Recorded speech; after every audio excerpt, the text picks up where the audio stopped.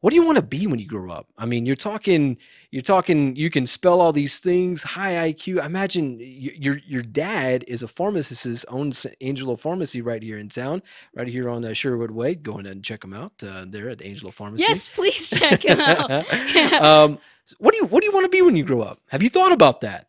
Yeah, so I'll be honest. Um, what I want to be when I grow up, um, is a bit of a complicated question for me because I have so many interests and I have so many things I want to do.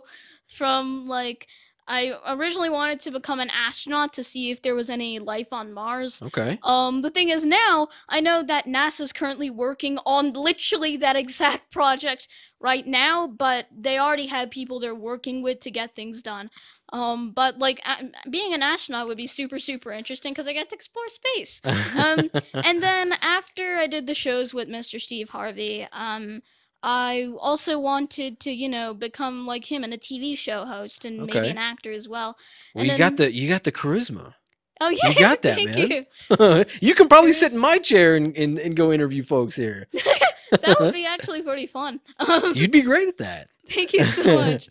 Um, so you have this, and then you have all sorts of other things that I want to do. Um, I'm also interested in, you know, uh, public service and serving the people. Okay. And maybe at some point I might try politics if I wanted to. Okay. And I don't know, maybe I could become the president. I don't know. I'm just throwing things out there. But no, really though, like seriously, there's just so many other things that I want to do. And so I guess I'll just see what happens. I like it.